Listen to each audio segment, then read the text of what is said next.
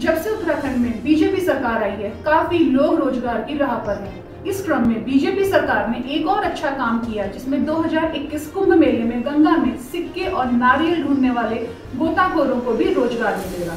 स्नान के दौरान गंगा में डूबने वाले श्रद्धालुओं को बचाने के लिए इन गोताखोरों का एक विशेष दल बनाया गया है, जिसकी गंगा किनारे घाटों पर तैनाती की जाएगी। इस काम के लिए इन गोताखोरों को वर्दी के साथ ही मानदेय भी दिया जाएगा।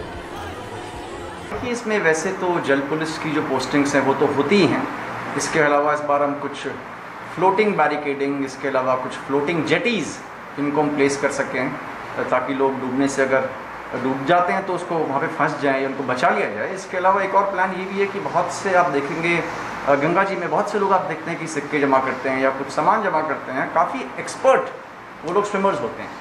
तो इनको भी हम एक तरीके से एक ट्रेनिंग करवा के, उनको अच्छी ड्रेस दे के एज ए वॉल्टियर यूज़ करना चाहते हैं। और ये मैं समझता हूँ कि जो ड्राउनिंग केसेस हैं, उसमें बड़े मददगार से लोग जो मैंने मोटा मोटे सर्वे किया है, मुझे पता चला कि सौ से ऊपर ऐसे लोग हैं जो इस तरह का काम करते हैं। मैं उनसे मिला भी हूँ।